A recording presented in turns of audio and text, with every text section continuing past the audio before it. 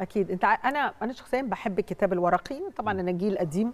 ولكن أنا ممكن بقى إيه أبدأ ألعب مع الولاد والشباب اللي مش عايز يمسك الكتاب. فبما إنه ماسك الموبايل 24 ساعة فاذا هناك في تطبيقات كتير دلوقتي وكتب صوتية وتطبيقات كتير عليها كتب مختلفة. بدل ما يلعب في جيمز أو ألعاب فممكن يقرأ كتاب. إيه اللي متوفر في ده بالنسبة لهم؟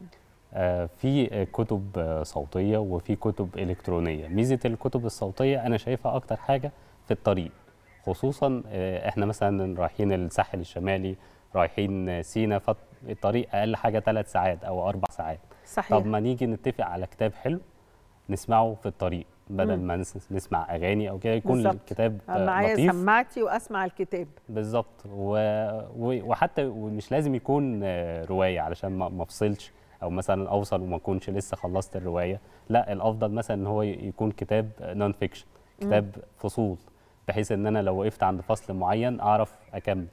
دي, دي مثلا أشوف كتاب مثلا أنا طريقي ثلاث ساعات أشوف كتاب ثلاث ساعات. تمام. لو أنا قاعد على البحر مش لازم يبقى م- معايا كتاب ورقي. مم. وأنا معايا الموبايل أشوف ال- الكتاب المناسب ليا على أي تطبيق من التطبيقات اللي بقت منتشرة. جدا صحيح. دلوقتي.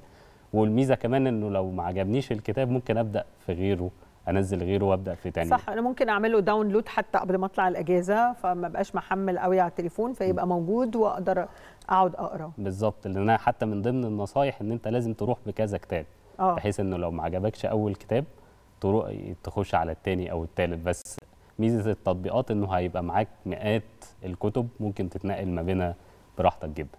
في في ناس بتحب قبل ما تقرأ الكتب تروح لل review. مم. فأنت برضو بتنصحه إنه لو هو مثلا زي ما أنت قلت أكتر من كتاب فهو يقرأ ال review بتاعها الأول ويختار بعد كده إيه إيه اللي هو هيبقى ميال ليه.